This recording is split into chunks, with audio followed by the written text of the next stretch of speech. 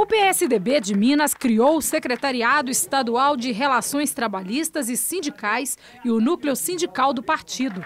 O senador Aécio Neves assinou a carta de filiação de mais de 100 sindicalistas que vão integrar o novo núcleo. Essa filiação em massa de sindicalistas no PSDB demonstra que não há exclusivismo hoje eh, dos sindicatos junto a um projeto.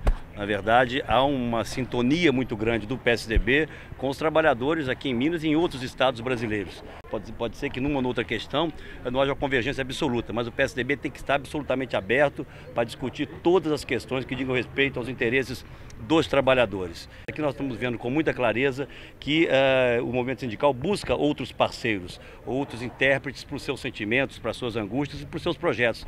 E o PSDB, eu acho que ao receber da forma que recebe é um grupo tão expressivo uh, de sindicalistas, na verdade ele retoma suas origens. E é o que o PSDB tem buscado fazer. Esse ano, eu que posso anunciar a vocês, vamos fazer ainda um grande seminário uh, onde nós vamos abordar o legado do, do PSDB para o país e o futuro do Brasil. Nós vamos reunir as grandes figuras do PSDB da área econômica, por exemplo, aqueles eh, que elaboraram o Plano Real. Vamos fazer a transição para uma nova geração também de economistas. Vamos falar de políticas sociais.